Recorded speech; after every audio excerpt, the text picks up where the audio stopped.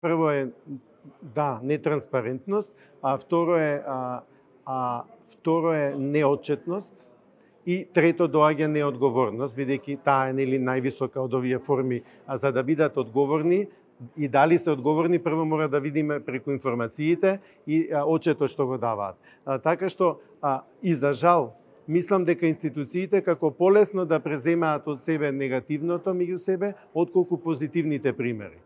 Да има 5, 6, 7, 10 институции што тоа го прават, го објавуваат, и другите ќе бидат потикнати најмалку од срам, дека ја немаат а, информацијата, да ја објават. А вака, тој е прекјутен договор. Верувам дека никој не објавува и веќе алатката, да кажам, замре. А алатката треба да е жив инструмент, таа требаше и да се едно време се надогради и да се надоградува понатаму, на вистина со еден клик да се објавуваат информациите, значи да се олесни, повторно ќе се вратам на, на основната теза, дека таа треба да е дел од секојдневното работење. Да се свати транспарентноста дека е таква а, таква, а, таков механизам и таква активност. А не дека тоа е нешто на крај све кој ќе завршиме, е па ај да објавиме. Така, таквото разбирање носи до вакви проблеми.